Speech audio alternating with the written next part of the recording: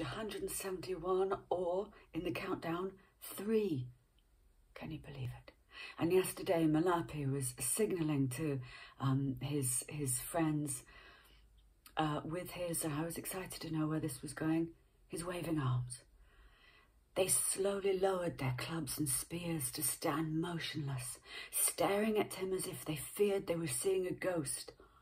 Is that Malapi? Or is it a ghost? They remained like that as if turned to stone while the ketch nosed its way through the gap in the reef and dropped anchor just offshore. Then Malapi cupped his hands to his mouth and shouted, It is I, Malapi, alive and well. The white Papalangi have saved me. I'm as surprised about this as you are. There were no evil spirits beyond the mountain, only bad white men, and we have got them here as prisoners to be taken away and punished by the white man's law. Oh, they've made that decision, have they? They will trouble us no more, and we bring back to you the sacred stones that vanished from our temple, and many more like them to offer to Sina, the sea god. Chief Awali offered, offered, offered Page 171, I've just said offered.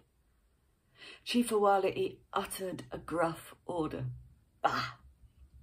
And his warriors, their golden brown faces now wreathed in smiles, dropped their clubs and spears to the ground. Ah, I don't need those. Then the chief turned and walked eagerly to meet Captain Clifford.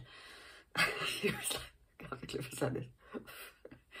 was now striding down the beach towards the war canoe as the two smiling men stood face to face in a friendship cementing handshake.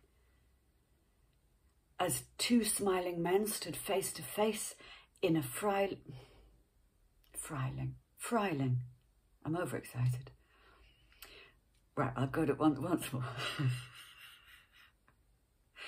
As the two smiling men stood face to face in a friendship cementing handshake, the passengers poured out, cheering wildly from the airliner, and then sped happily down the beach to join them. All one sentence. Is that a sight for sore eyes, Shirley? gruffed Tony. Oh!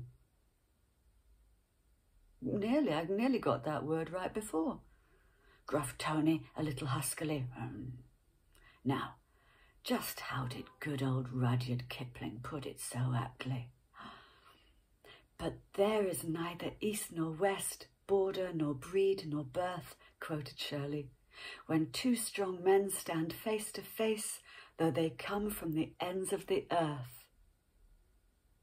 Wizard words, those, enthused Tony, closing a huge fist warmly over one of Shirley's hands. Oh, okay, I'm, I'm not going to dig into that. And so we, thanks mainly to you and Teru, end up our Pacific adventure with a happy landing. Okay, page 171.